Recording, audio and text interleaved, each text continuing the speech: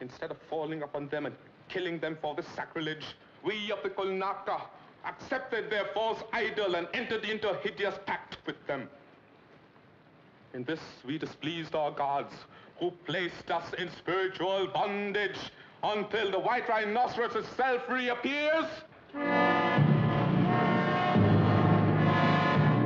Or until the false idol shatters.